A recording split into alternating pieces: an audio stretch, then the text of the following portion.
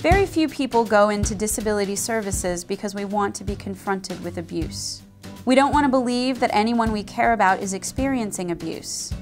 It can be even harder to accept that someone we know and like could be a perpetrator. But every major study has found that people with disabilities are more likely to experience abuse than people without disabilities. Denying the problem won't make it go away. We all have to be proactive.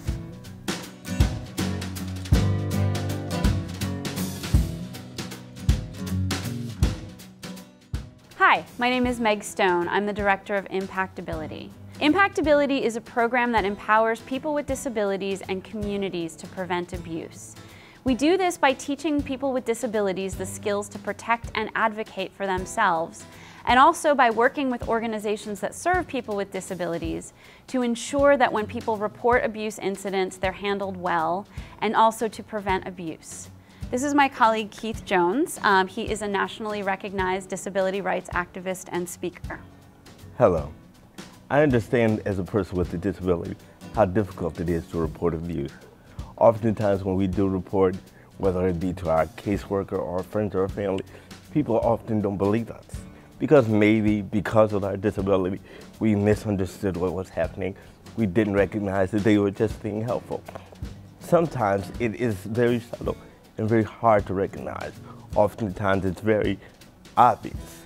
But as a person with a disability, we want to be believed. And so when people don't believe us because of our disability, it makes reporting abuse that much more difficult. So in this video, we hope that when you see the scenarios, it will give you a chance to recognize the challenges we face in reporting abuse.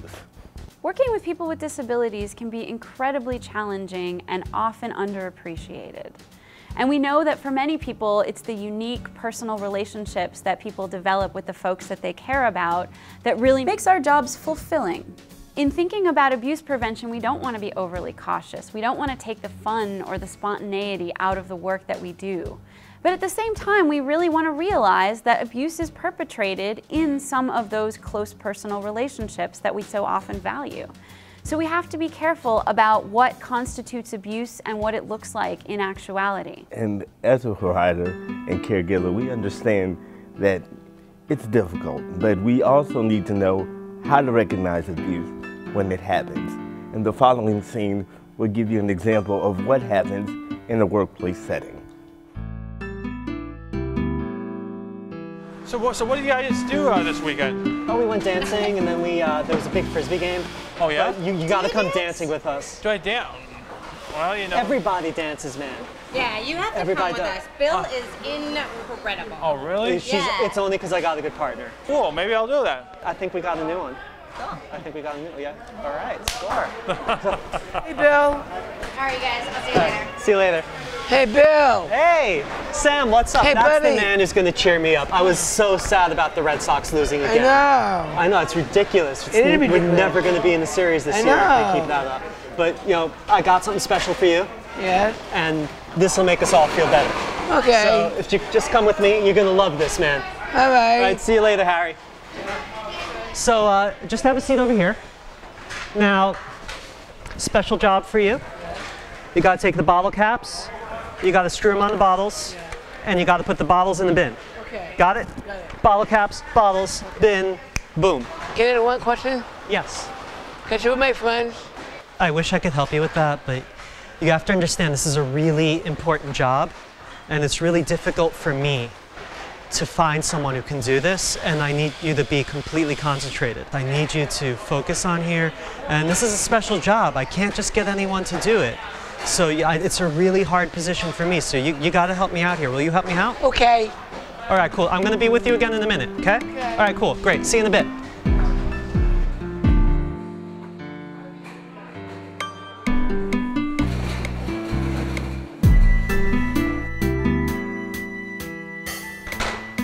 Hey, buddy. Okay. Working hard?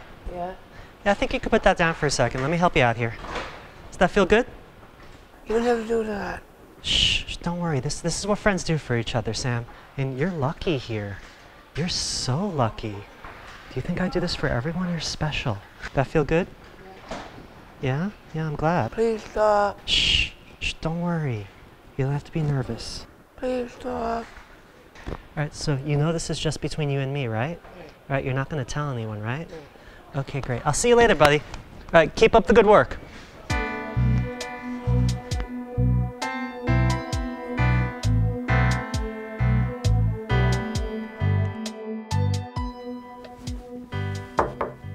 Hey. Hey.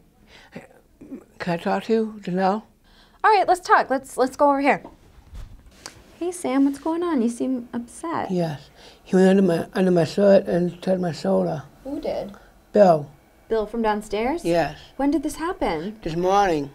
Oh my gosh, did you ask him to stop? Yeah, I did tell him to stop. He won't stop. Oh my gosh, I'm so sorry that happened to you, Sam. Are you okay? Yes.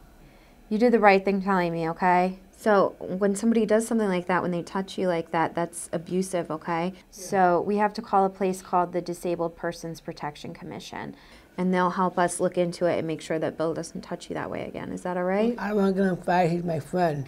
Yeah, I know. I know he seems like a friend, but a friend wouldn't touch you that way and make you feel uncomfortable, okay? I think it's really important that we call the DPPC so he doesn't hurt you again, okay? Do you want to make the call with me? Sure. Okay.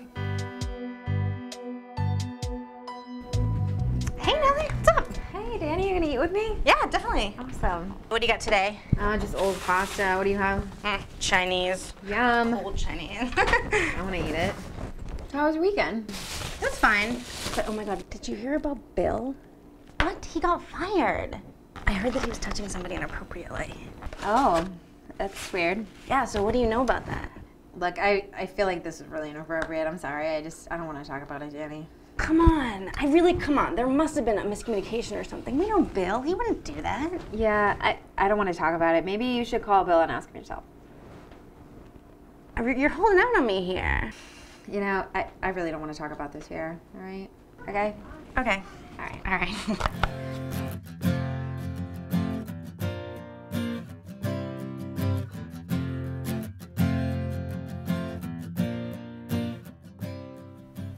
In the scene, Sam was abused by someone he trusted in a place where he thought he was safe. But more importantly, he knew he had somewhere to go in order to report the abuse. As you can see, Bill the abuser was somebody who was well liked.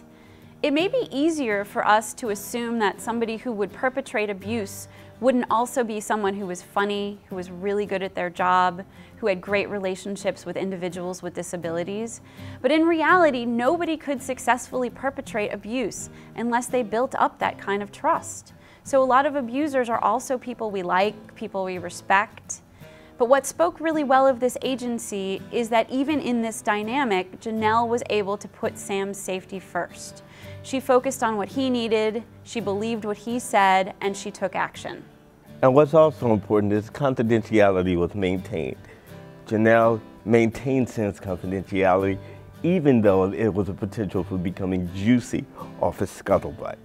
But that is what was important, that Sam had his, her trust, had somewhere to go, and that the appropriate measures were taken in order to address the situation. For most of us, when we hear an abuse report, it's going to be difficult. And in those situations, we want to talk to somebody to get support for ourselves. What we want to do is make sure we're talking to the right person within our organization, the person whose job it is to support us, or we're talking to somebody that the individual who made the report gave us permission to share the information with. We want to make sure that we're supporting ourselves and getting the support that we need and not just gossiping about the situation.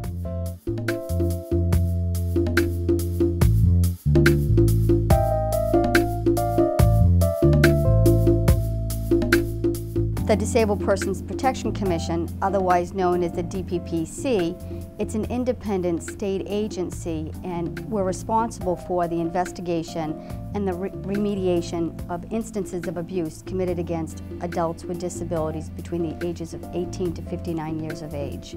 This is the DPPC hotline. Are you calling to file a report of abuse or neglect? Okay, thank you. Can I get your name? So when reporting an allegation to the Disabled Persons Protection Commission, all reports are, are screened by the staff at the Disabled Persons Protection Commission to see if we have the authority to investigate the abusive situation. Also, we have a state police detective unit that's assigned to our office, and every call that's called into the agency is looked at by the state police to determine if there's any elements of a crime. And if there is, it's going to also be investigated criminally as well. So, people who commit crimes committed against persons with disabilities have equal access to the criminal justice system. Okay, well, thank you very much. Um, what will happen is we will get this reviewed by supervisory staff here. Uh, there'll be a screening letter sent to you uh, to indicate what happened with the report and how it was screened. And we will get the information sent over to the appropriate service providing agency before the end of the day today. We can often miss abuse because a lot of us don't know what abuse is, or don't recognize the abuse, or don't recognize the subtle signs of abuse, or don't recognize the behavioral changes um, that often comes when someone is a victim of abuse. So by learning how to recognize the indicators of abuse, the signs of abuse, we can do a better job at recognizing abuse and then reporting it.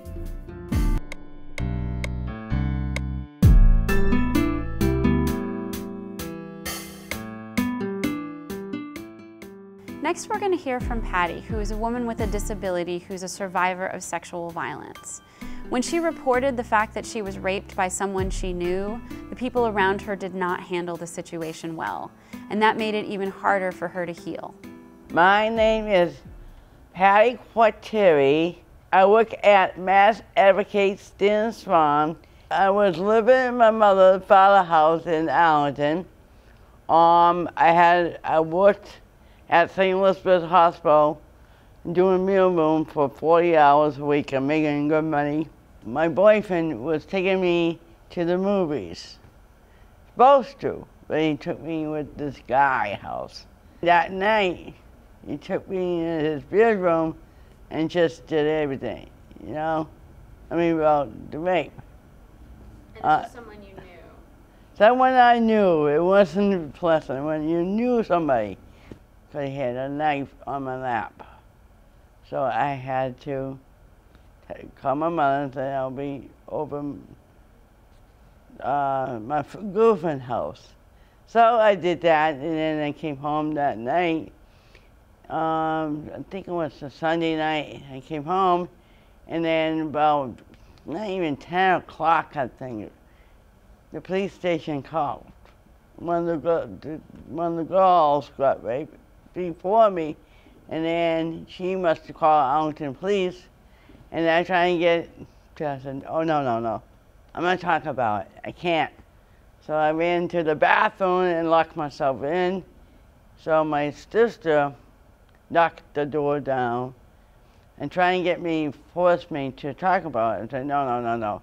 Finally, 12 o'clock at midnight, they decide to take me down to the police station. They sit me down and say the story, but it took me like four or five times. I'm getting frustrated. I want to get home. Didn't really want to talk about it anymore because it was getting on my mind. I felt angry because I didn't want to get myself, I was more scared, I think. It's much fear off it because then he'll tell me, he told me he'll kill me. That was more like a fear, too. Scared and fear and angry at the same time. I got raped, and they, I had to go to the group home, and then um, they have these tests you have to take before. I said, can I go back to work? Because I really want to get out and well, help me to get things out. No, you can't. I would um, feel like uh, victimized, and I feel that I was they teaching me like a baby. You know, people don't have to be like that. When I think about what happened to Patty, I realize that even though somebody did something to hurt her, Patty was the one that was punished. Whether anybody intended this or not, if you look at how people responded to Patty's situation, they took away her choice. They took away her independence. Now, we may be afraid and want a person with a disability to be safe, and that fear may become greater when somebody has experienced something like rape. But we want to be really careful in our responses to make sure that we're not making people give up their lives just because someone hurt them. And this is why people don't report. Because when we do report, we have a fear that our disability will be used against us and take away what little independence we have. And it's taken away after the incident in the justification of, quote, keeping us safe. This is oftentimes an overreaction. As opposed to taking our safety into concern, they're imposing their belief on us because of our disability. So I went to see the therapist for seven years, captain seven years. And she kept things going, helped me how to solve it, and how to control myself. And then she'll help me um, trust people. She helped me to talk to people and help me to socialize again. Patty's doing great today. She currently works at Massachusetts Advocate Standing Strong and she's a member of the IMPACT:Ability Steering Committee. She also has her own apartment and she lives in the community. Next, we'll see a scenario about a positive, proactive response to a potential abuse situation.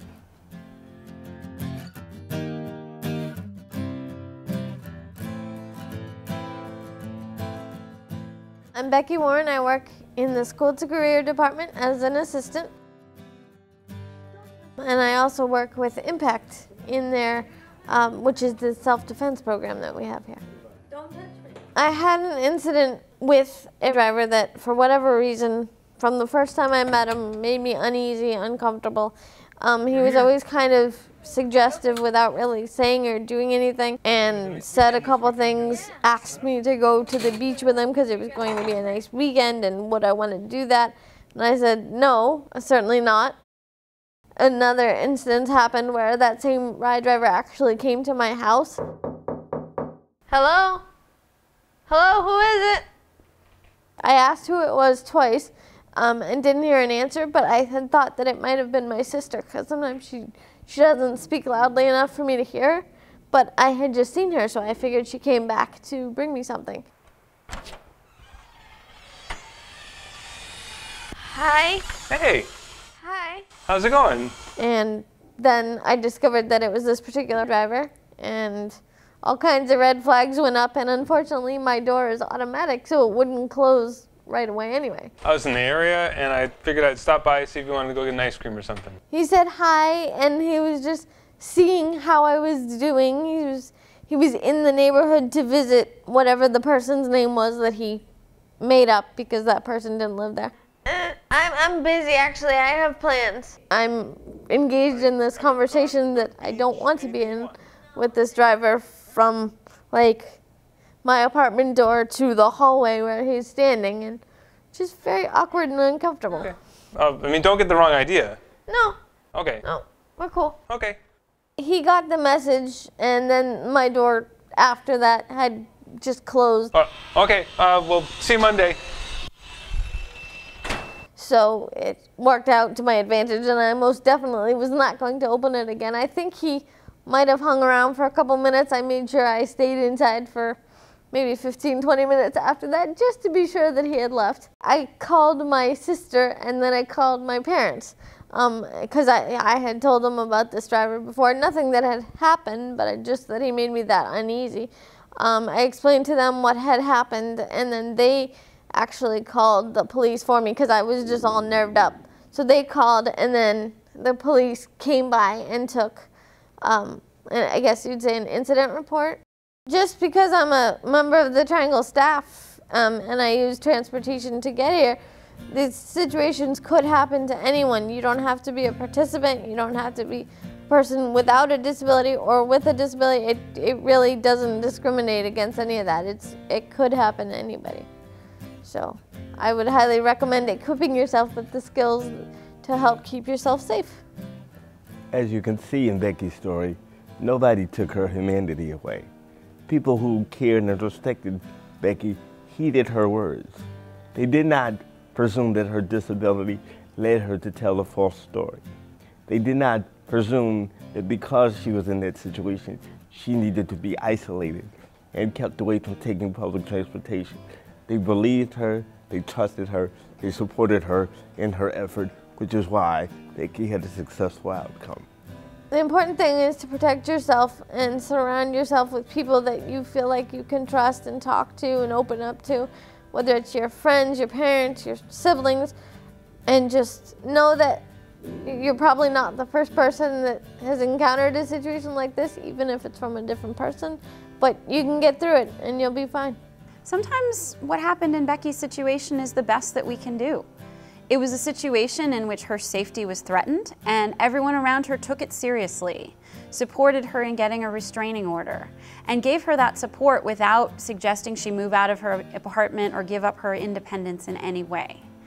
But other times we can do more. We can be proactive and prevent abuse before it's perpetrated, before it even gets to the point where somebody is unsafe. And one of the things we can do is focus on our interactions with people with disabilities every day. Do we listen when they express concerns or are we dismissive? When a coworker says something that's disrespectful or potentially emotionally abusive, do we say something? We know this is difficult. We do. But it becomes less difficult when you have an unquestioning commitment to the individual's humanity and dignity. But what happens if it's your boss?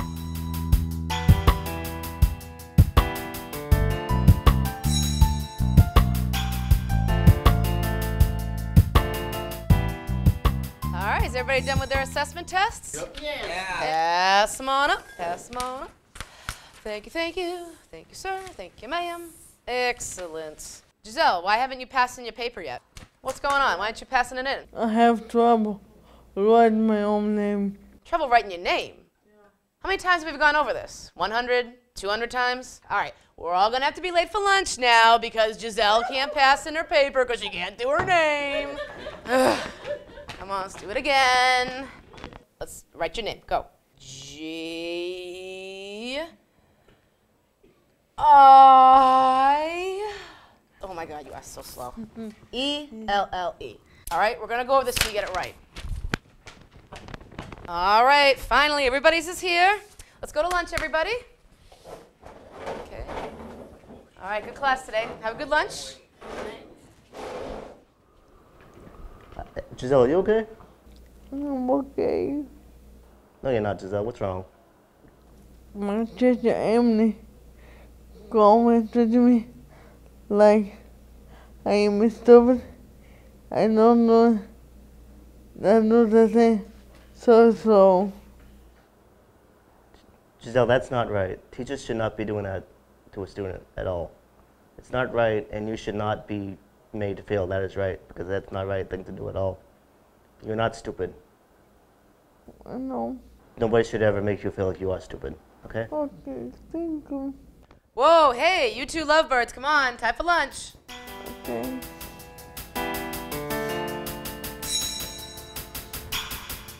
Uh, yeah, I can, uh, I'll have that to you probably about 12 o'clock. Yeah, yeah, 12, 12 in the morning. I'll have that all ready. Kind of busy today. Uh, yeah, can I uh, call you back? Yeah, I, I get some come up. Thanks.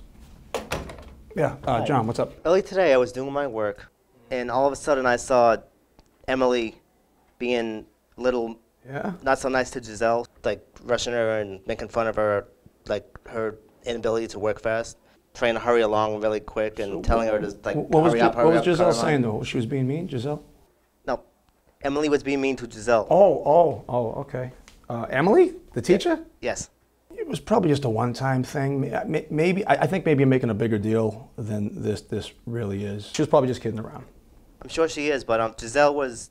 It, it really upset Giselle, and I don't think that was right at all. Uh, you know, Emily's a, a, a good teacher. I bet this was just a one-time thing. You know, you- you're probably making a bigger deal than it really is. So I, I wouldn't uh, I wouldn't worry about it. It might be a. It it seemed. Sorry. Hey, hey thanks. I'll, I'll, I'll. Hello. Mm-hmm. Giselle, come on. Please help. Come on, Giselle. I knew you were slow, but I didn't think you were this slow. Let's go. Oh my God. Scott, Scott, wait a minute. You gotta, you gotta, you gotta see this. Ready? Watch this. It's a race to see who can get out of the bathroom the fastest. And at the start line is Giselle. One, two, and she makes it out in three. Hey, Giselle, how are you? Hey, hey, listen, can you come by my office a little bit? Because I want to go over those reports with you. Oh, the reports, sure.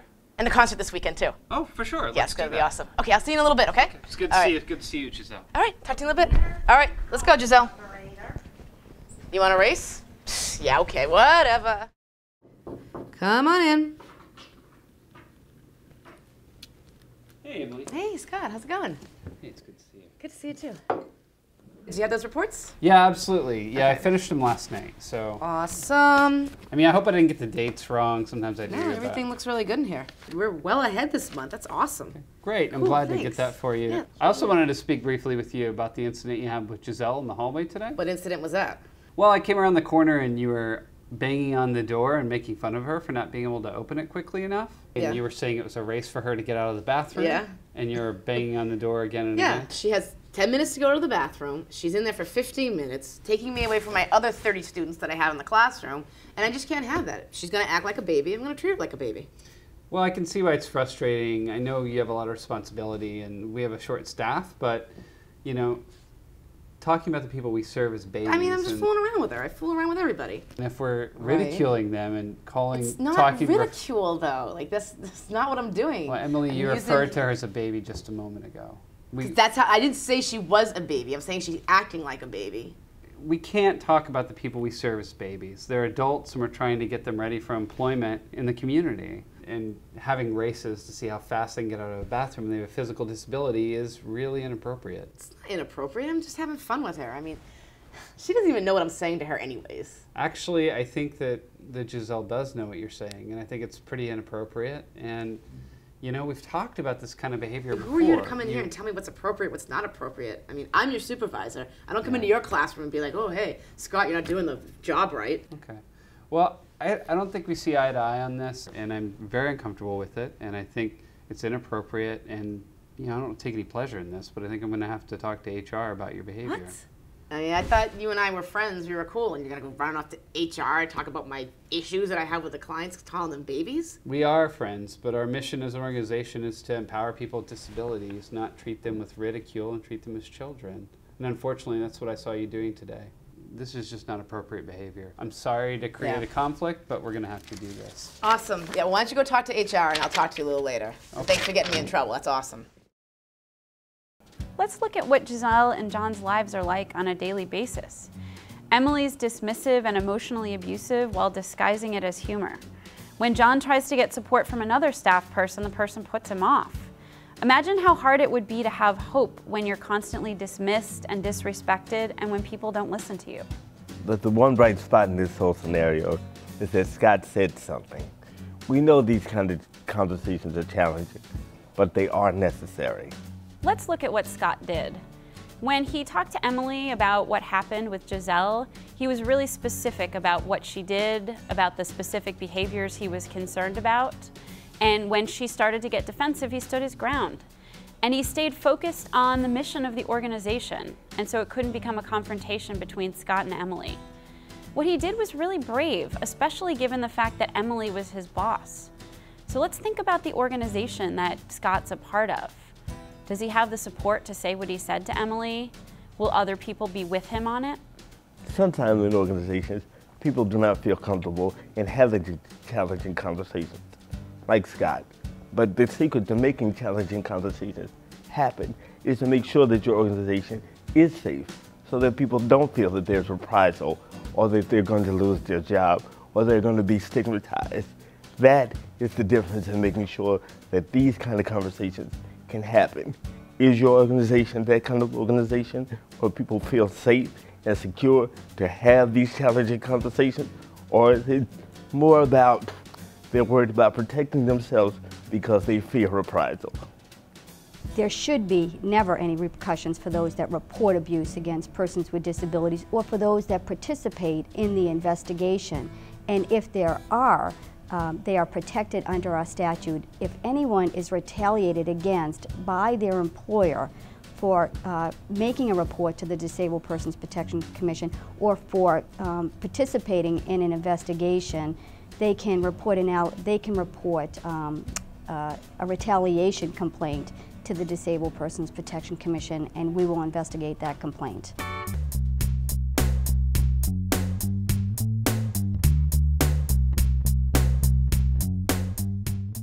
In the following scene, you will see the interaction between myself as a person with a disability, as well as a personal care attendant, to show how we interact, either positively or negatively. Oh, what are you doing?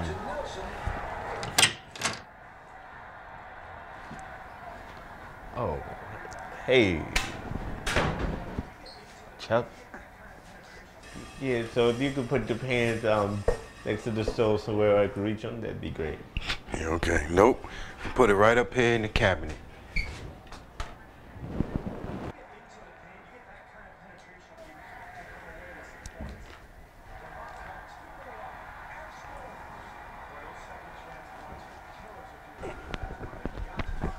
What? Why taking the remote? I want to see what's up with the game, see who's winning. Can I have something to drink? There's juice. I just came out of the kitchen. You didn't ask me when I was in the kitchen? Well, I didn't think about it then. Well, you're gonna have to wait now, cause I'm trying to see what's up with this game, see who's winning. I already seen the score, so you need to take a shower so I can go do what I gotta do. You gonna go take the shower? I'm the one to finish my game. I'm not. I'm not ready. You're not ready? Well, you don't got that much time. I got things to do. Fine. All right, let's go. In the scene, you see that the personal care attendant had no respect for the home. There was no knocking. There was a blatant ignoring of wishes. These are the things that personal care attendants must not do because even though they are coming to work, it is still my home or the individual's home, and therefore those boundaries should not and must not be crossed. What is it? Chops. Hey. What's going on, man? Not much, man. How you doing today? Chilling, chilling. All right. What you need done? Anything you need done today? Yeah, you know, we got the pans in the sink. Do you think you can uh, take them pans and put them next to the stove so I can reach them? Okay. All right then. Yep. Okay, good. All right. Thanks a lot. Yep. You're welcome.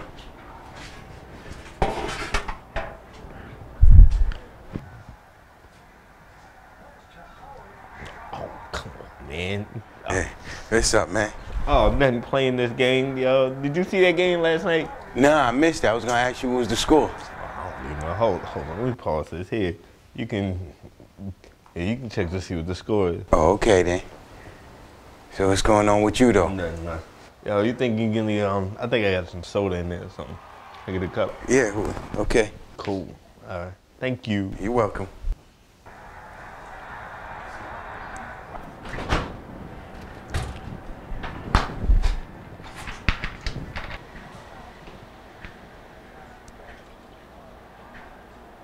I thought I hit. How did you miss? Here go your soda, man. Oh, thank you, thank you. You saw that, man? That game was weak. Nah, I didn't catch it all, man.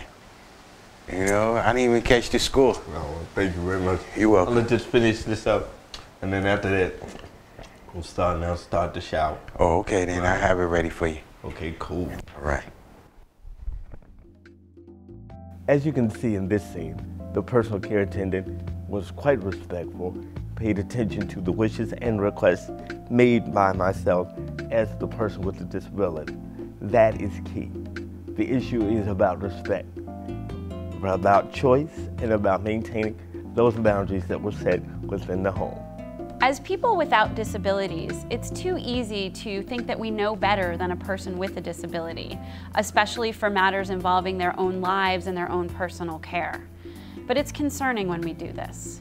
Are we limiting someone's life or someone's choices for our own convenience? When we do this, we can make a person more vulnerable to an abuser. If people don't feel like they have agency about their own lives and the most basic daily interactions with people, it can be really hard to resist somebody who's intending to harm them. Therefore, we have to be really careful in all of our interactions to really support the integrity of someone's body, to support someone's choices and give them that experience of knowing that their choices and their needs will be listened to.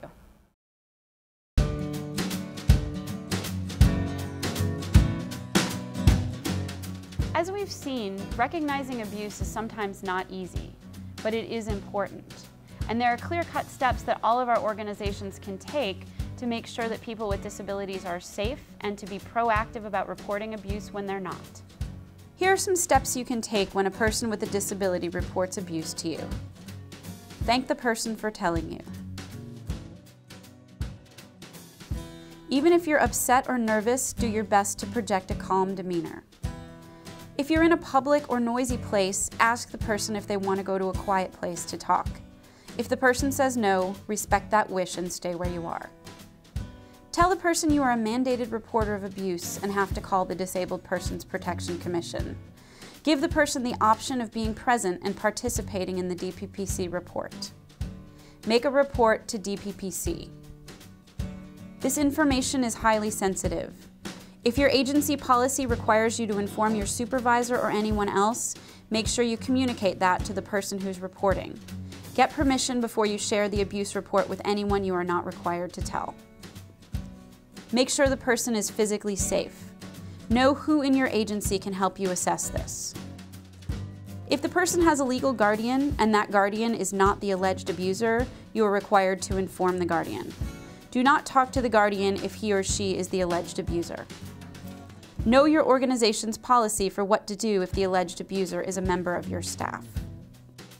If you have questions, doubts, or concerns about the story, do not share your doubts with the person reporting. As a mandated reporter, it's your job to report. It's an investigator's job to investigate. Ask the person if they want referrals to therapy, counseling, or other supports. And finally, take care of yourself. Hearing an abuse report is challenging. Make sure you get the support you need. For more information, please contact these resources.